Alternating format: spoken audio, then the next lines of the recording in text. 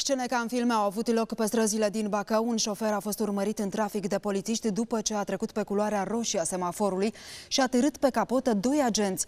Amețit de aburii alcoolului, bărbatul a refuzat să oprească și a demarat în trombă.